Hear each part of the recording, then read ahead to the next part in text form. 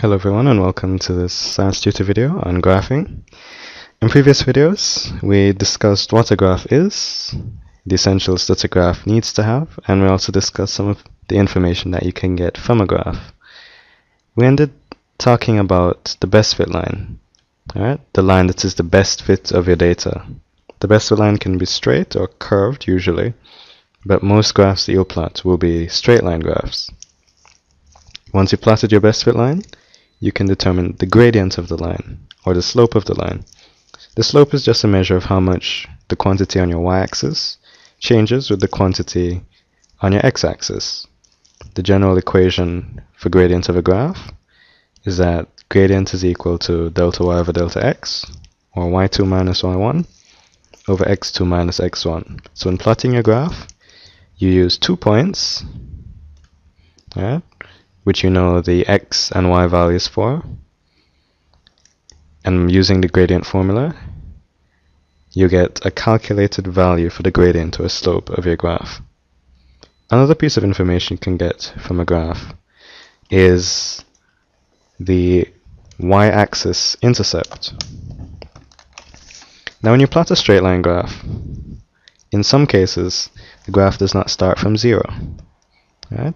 So when you have your x and y data, the graph actually touches the y-axis at the point when x is equal to 0, right here. That value is referred to as the y-axis intercept, which is given the symbol c. Right? c is just the value of y when x is equal to 0. So you might think of it as the starting value or the initial value of y. Right? That is your y-axis intercept.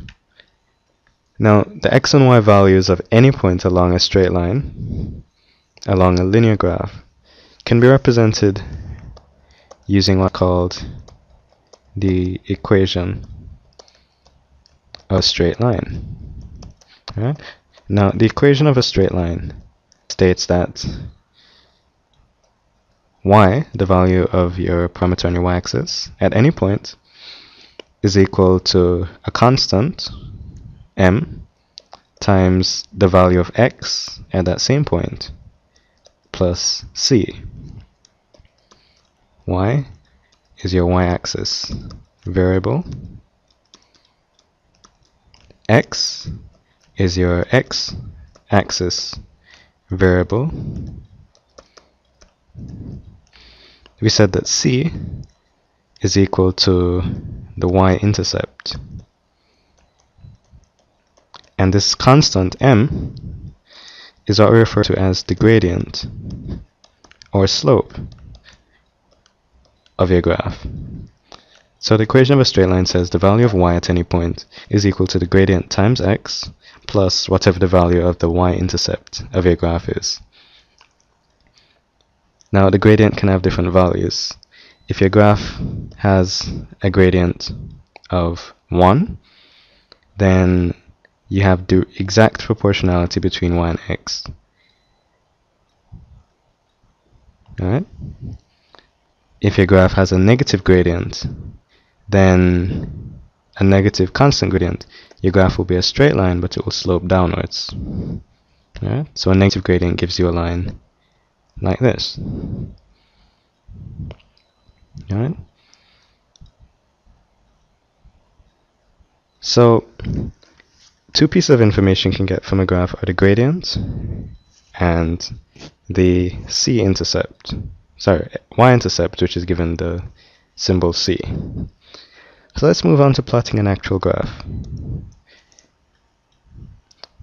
We're given some information here that asks us to plot a graph of distance traveled versus time for the data below, and find the gradient and y-intercept for the data.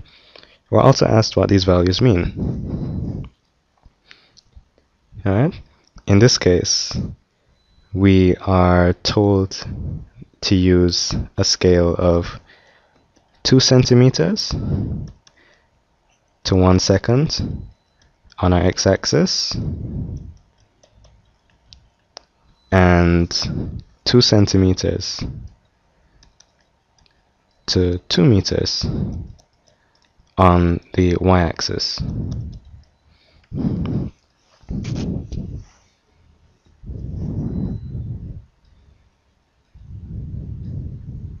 Alright. So you can record the data.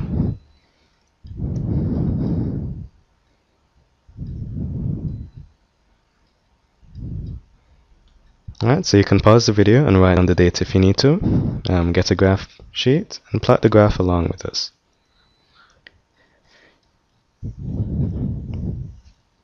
So we're plotting our graph and we're told to use a scale of 2 centimeters to 1 unit on the x-axis, which means that every 2 centimeters we're going to go up by 1 second.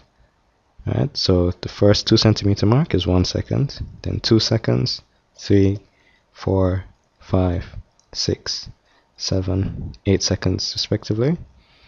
And we label our axis, time, and the units of seconds.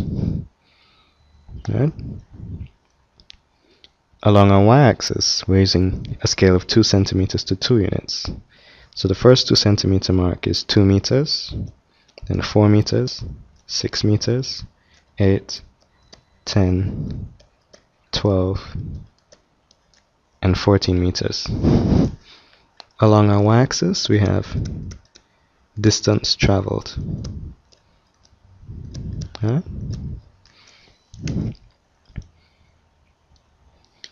So, based on the data that we have, let's plot our graph.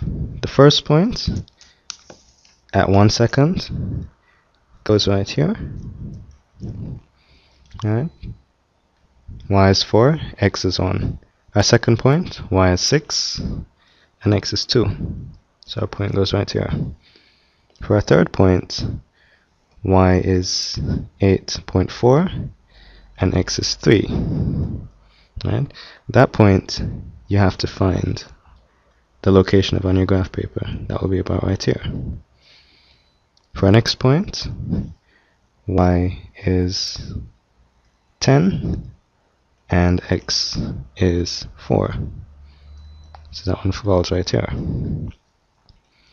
For our next point, y is 11.6 meters and x is equal to 5 seconds. So that point falls about right here.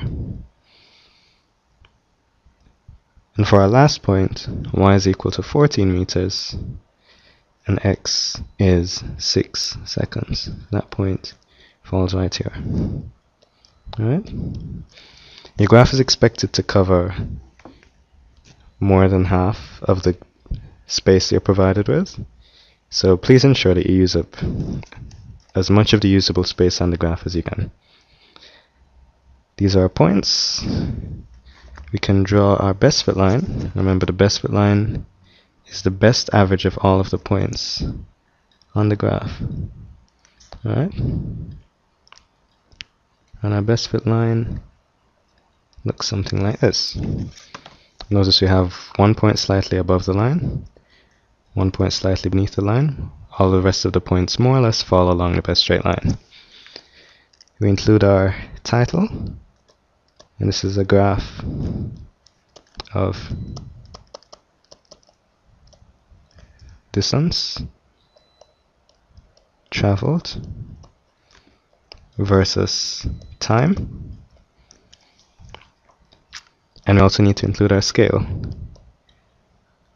on the x-axis our scale is 2 centimeters to 1 second on the y-axis our scale is 2 centimeters to 2 meters or 1 centimeter to 1 meter. Right? Now based on this data we can calculate the gradient of the graph and the y-axis intercept. In our next video we will calculate what the gradient of this graph is and we'll find the intercept along the y-axis. Alright, so thanks for watching. Alright, so thanks for watching. Please stay tuned till the next video.